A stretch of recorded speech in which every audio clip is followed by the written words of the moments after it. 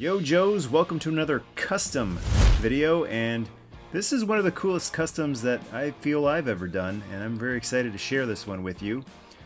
And it's one of those customs that if I can do it, you can do it. I've said before, if I can do the ultimate USS Flagg underneath custom, anyone can. I am not a crafty type of person. I'm a bad combination of not very good craft skills with my hands and picky, kind of a perfectionist. So when I don't do something very well, it really irks me. But uh, I've I've stumbled on this. I had this idea for quite a while, and I absolutely love how it has turned out. So, with the news of the uh, GI Joe Retro line coming out recently, I know there's a lot of Joe fans who were left wanting something else. Um, it's nice to see the anniversary line back. I liked the anniversary line. I'm glad they brought it back. I, I hope we can get some of the anniversary figures that we didn't get the first time around, like Low-Light on a vintage style card or Airtight, Wetsuit Leatherneck.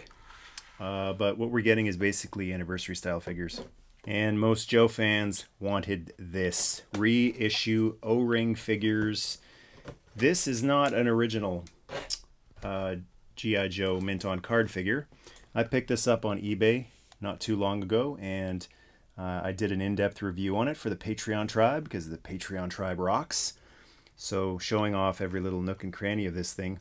But it's a re reproduction card with an original Breaker glued onto it. So he's on there permanent. And one of the things that bugs me about mint on card G.I. Joe figures is they're stuck on there. So I got lucky with this one. He looks pretty good in there, but sometimes you get like an arm is bent weird or a shoulder is jutting out too much or they're crooked, something that can be a little bit irritating. And I just don't like not being able to take him out of there. I was really hoping for O-ring reissues with uh, clamshell packaging that you could take the figure out, play around with them, futz around with them, put them back in. So I don't know who made this card. It's actually really, really high quality. Feels a lot like the original. It's nice and thick, um, thicker than a lot of the uh, Collectors Club G.I. Joe figures. Not sure who did it, um, but I got it from the Netherlands, uh, and, and, it's and it's really really nice.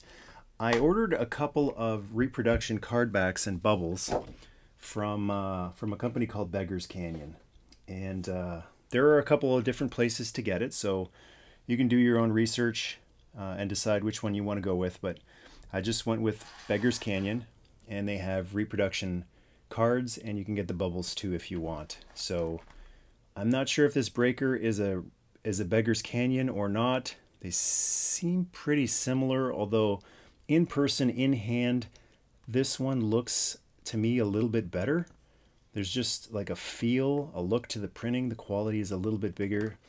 And uh, so I don't know if this was a Beggar's Canyon card and maybe it was a different run or, or what. But um, for the for the review today, or the tutorial, I want to tell you this awesome new technique of doing it yourself. So if you don't like the uh, retro G.I. Joe line, if you were hoping for vintage figures on a vintage card, now you can do it yourself. As an old inspirational song once told us, uh, you hold the future in your hands. And, uh, and another uh, good expression is if you want something done right, do it yourself. And I think that's very important, not just in the collecting community, but in life in general. Uh, you can't just be waiting for someone else to make you happy. So for me, when I when I look at the Hasbro releases and, and all the other companies, I think of it all as a bonus. If something is good, awesome, it's good. If it's disappointing, oh well, big deal. I'll figure something out on my own, and that's what I figured out here, and that's what we're doing today. So uh, to do this custom, you'll need uh, reproduction card and bubble, a figure, and with any accessories that you want, it doesn't have to actually be the original accessories. I've got a Duke here that I have done this customization on, and a lot of uh, Joe fans will notice he's got the wrong gun in here. Or is it the wrong gun? It's the right gun to me. and probably to quite a few Joe fans out there. Uh, Duke, the original card art, he was pictured with this snow job laser rifle, and um, the stalker gun they gave him, the light green stalker gun, never seemed quite right. I always thought he should have the gun that was in his card art, and now he does. It's from a Extra Pack, reproduction pack. Back in the day, they did a gray version, and that's on there. And uh, he is magnetized onto here. So I'm going to show you right now how to do this and how effective it is, easy it is, and also kind of fun too. Way more fun than uh, dealing with glue or epoxy. So for this custom magnetized recarding, we're going to do 85 Snake Eyes, one of my favorite figures of all time. Often when I'm asked who's my favorite, this one just pops into my mind. And this is my original Snake Eyes from 1985. This is the one I grew up with. And uh, it's going to be really awesome to stick him on an original card with his original Timber too. It's really cool to be able to take some of the actual figures from your childhood, put them in a, a nice little display case or a little clamshell, but I can't think of a more fitting display piece, display stand, display area than to put my original Snake Eyes on this beautiful original Hector Garrido card art and what you're going to need for this is the right magnets for the job. So I tried a couple of different magnets and what I settled on, what ended up being the perfect magnet for this, and this isn't something I think you could have done uh, some years ago. Um, these little magnets are super, super powerful, and they are called uh, N50. N50 small fridge magnets. They are 5 millimeter by 1 millimeter. They are minuscule. Look how thin and tiny, but powerful. I don't know if it'll stick to my ring. It doesn't. It's not the right type of metal. But the important thing is they stick to themselves. Like this is really, really powerful. And I was considering using uh, long bar magnets for the longest time before I actually did this custom. I was going to get uh, like long, just long kind of rectangle shaped magnets. I figured that's what would be required in order to hold the weight of the bubble and the figure and his accessory on here. But these little guys work perfect and we're gonna put one together right now. So I'm gonna remove the accessories, hair standing on the back of the neck, don't break the thumb. Take the sword out of the backpack and get the figure ready for how you want him to look. The great thing about this is you can change it up if you want. You can have him looking to the side, looking down. This might seem insignificant to most people, but I think it's important. I think it's cool to be able to choose how you want your figure to look in there instead of going to a store and buying an o like if they had done O-ring reissues and just having like a dude in the package kind of like that and not looking all that cool. Love the ability to futz with them. So we got our Snake Eyes figure already here. Timber is not posable. That's not a big deal. And if you choose to purchase these from Beggars Canyon like I did, they are nice enough to label these. They put a little sticker on here telling you uh, what goes with what. So if you order uh, a few of them, that could get very confusing, not knowing which bubble goes with which card. So luckily they label them. And when you pull these off, it might leave a little bit of sticky residue. And what I always do with that, you can see a little bit of sticky residue right under my finger here. I just use the actual sticker that I peeled off and I just do that over and over again and the sticky sticker actually pulls off the sticky residue nice and clean. So now what you're going to do is turn this bubble over like this and stick the figure in get an idea of how he's going to look. It's a tight squeeze for these guys. I remember them being having a lot more room in here, but they're actually really compact in here. So you get your figure in here, decide how you want them to go. I noticed on some of them you do have to kind of put one arm forward, one arm back. And uh, that looks fine to me. Maybe even twist this a little bit if you want to show off that awesome wrist arrow. And that's how he's going to be in the bubble. Oh, and sorry to jump around, but you can get these for cheap. I just want to mention that these are very, very affordable. I got a hundred of them for like $4 US shipped from China. That's an amazing price. So that's that's what's awesome about this thing. The figures might run you a little bit, especially Snake Eyes. The cards with bubbles might run you a little bit. They're not exactly cheap. Um, way more affordable than buying a mint on card original. But it's the magnets that are uh, really affordable. Now we got to figure out how to get everything in this bubble up here. So you can decide which way Timber goes. Um, let's see. Be careful if you're doing one with Timber because he is uh, quite fragile. The back leg on mine did break, and you can see uh, teenager me glued that all together as best as I could. Um, how does this go? It's kind of hard to tell. Maybe, maybe like that'll work or on an angle. But again, because you're using magnets here, you get to have a little bit of trial and error. If you're using glue, it just sucks. I mean, you got one shot to plug it on, and that's it. Cross your fingers, hope for the best. But uh, that that might be as good as we get. Uh, the backpack, it's starting to get really tight in there. Um, drop an Uzi in there, drop a sword in there, backpack. Oh, it's a little bit like Lego or Jenga. It kind of fits in there quite nicely. So now that we have all of the, uh, the accessories in there, this one is a particularly tricky one to fit everything in there, but we'll just stick everything on like that and just kind of hold it against the card to see if it sits flat. I noticed on my Low-Light it doesn't sit flat because of how huge his backpack is. So I had to double up some of the magnets in order to uh, hold it better. And that's the great thing about this technique.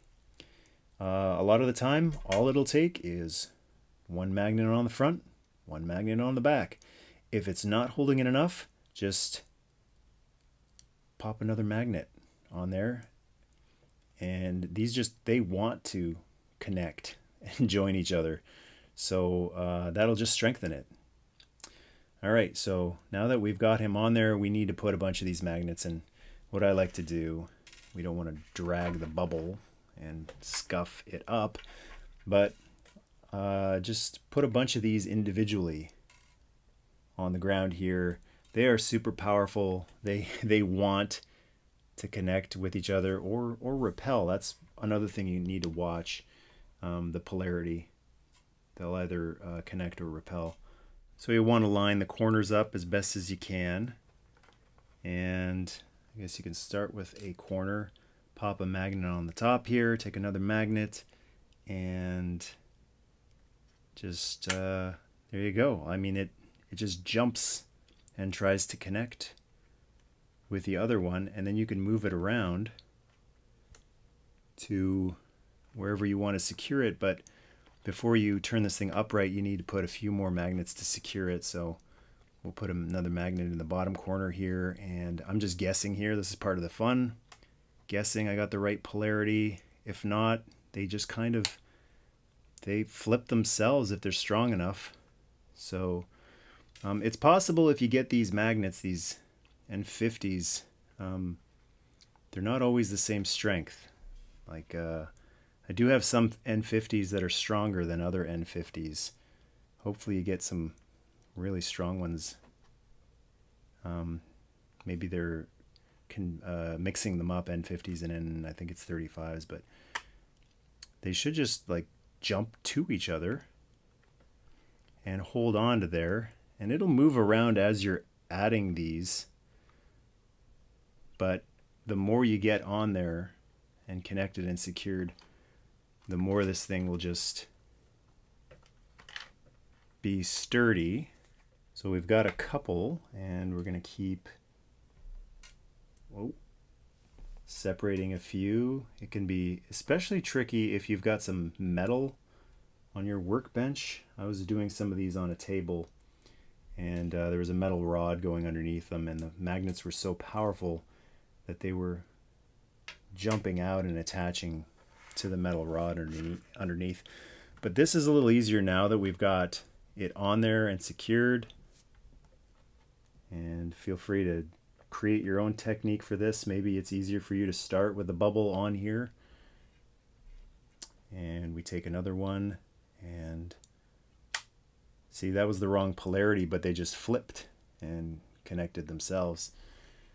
Take another one here. So I like to go the bottom corners and then the middle and then secure the top corners too. So we've got one over here and I'm going to take one underneath and see how that jumped. Just it finds it if it's strong enough. I thought this was going to be a nightmare to do, but uh, luckily with powerful enough magnets, they just they figure things out on their own. And I'm going to put one more in the top corner and see if that'll be enough. So one here right under American, the real American hero.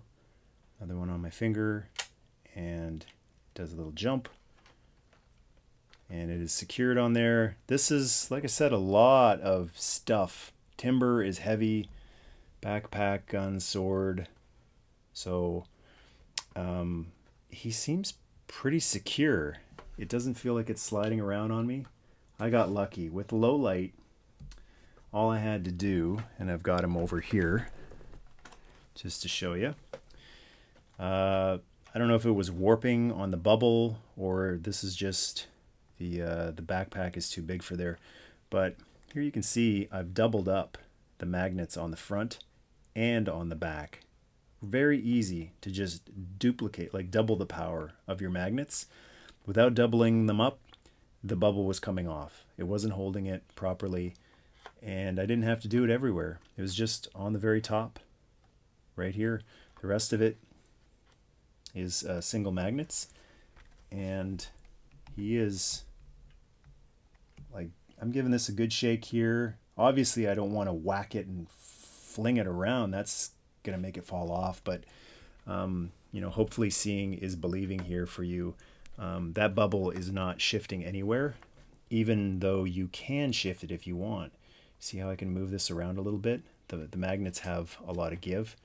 Um, this bubble is coming off the edge right here past the white part. So I just give that a little bit of a nudge. And now it looks like an actual mint on card figure. And Snake Eyes, who we just did,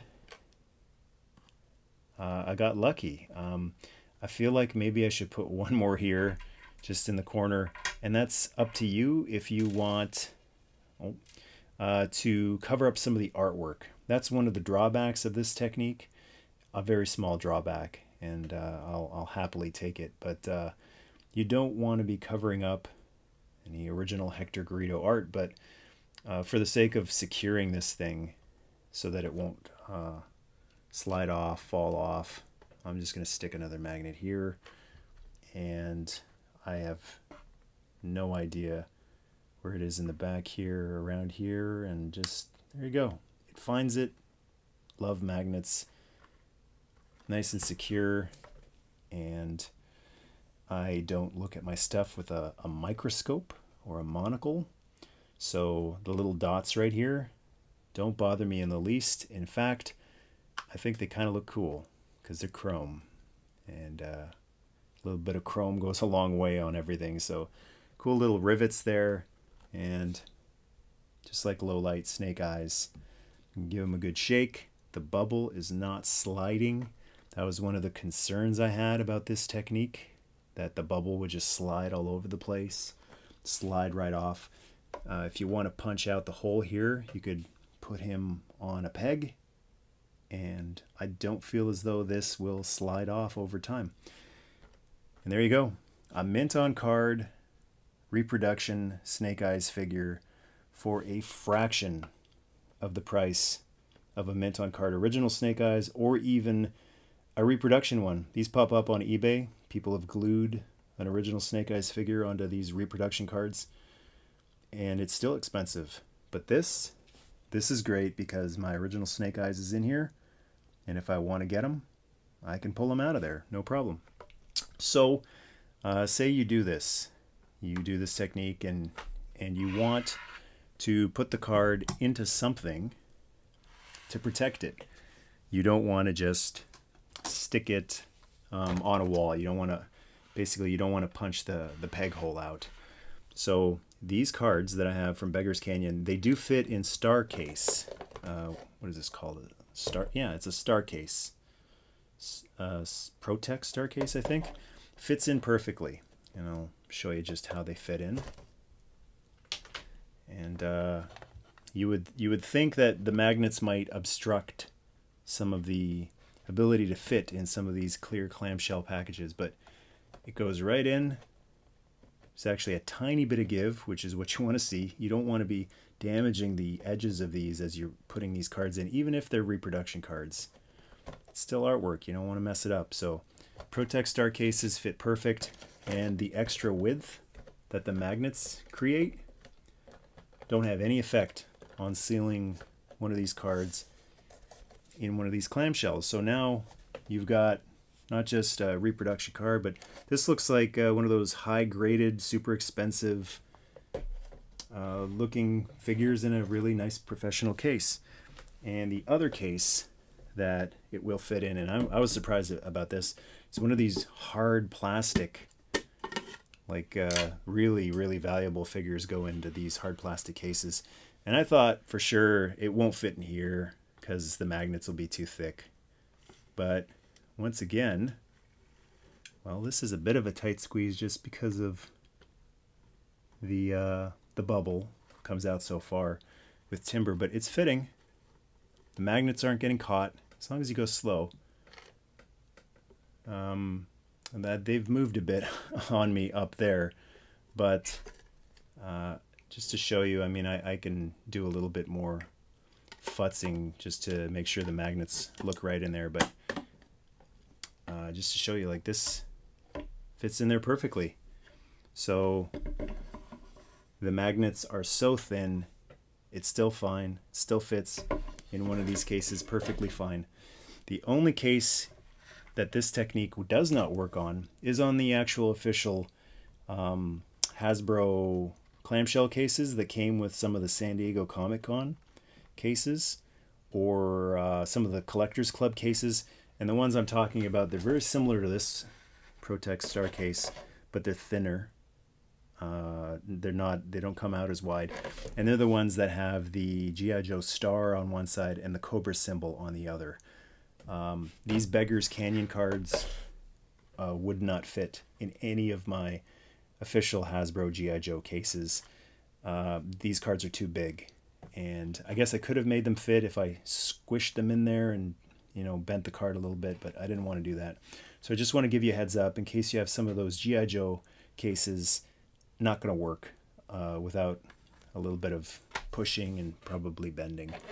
But uh, that is the magnetization technique of making your own O-ring reissues or uh, reproduction action figures you can get some of your favorites. These are a few of the ones that I had duplicates of. And uh, I liked having them displayed on a, on a shelf. But uh, it, it's really the synergy between the card art and the figure for me. So it's really, really, really awesome. Uh, if I could have two mint on card G.I. Joe figures for the longest time, I've felt like it would have been Duke and Snake Eyes, and now I have it. And what makes it even sweeter is that I have it at like a fraction of the price that the uh, genuine article would have cost. Plus, I can open it up and play around with it. I have the option of putting it back in. Whereas if you get an actual original G.I. Joe mint on card figure or a re-glued, a glued on reproduction figure, that's it. There's nothing you can do with it. All you can do is hold it, look at it. It's still cool, don't get me wrong. There's no little, I mean, there's there's advantages. There's no little magnet circles in the corners, but if I show you these side by side, do the magnets really bother you that much? Maybe they do, but for me, the advantages are so much more with this magnetization technique uh, than this like a glued on uh, reproduction figure. This is the only one I have, this Breaker, and I don't really feel like ever getting another glued on reproduction figure now that I've been doing this. And with this technique, I'm looking forward to getting a couple more of these guys. I don't have to redo the whole collection, but you know, I'm looking forward to getting a snow job magnetized on a card or a blowtorch or some of my other favorites because this is super cool. Looks really awesome. It's uh, fun. The magnets are are fun to work with when you get them to, to line up, and uh, and it's uh, something you can do on a budget too. Thank you, Patreon Tribe, for providing the channel Patreon power. Want to give a warm welcome to our new Patreon Tribe members Jack DeFranco, Stephanie Hazel, Joseph, John Eastman, Jason Brandenburg, Hubert Arts, hope I pronounced that right, Mike Corin, Lee Hawkins, Ravi Swami, Wesley Cooper, Jay Inklin, and Brad. And thank you, Patreon Power Masters, Gojitron, and Mark Lennon for the extra Energon. Feel free to share, leave a thought in the comment spot, and to join the tribe, hit subscribe. Yo, Joe!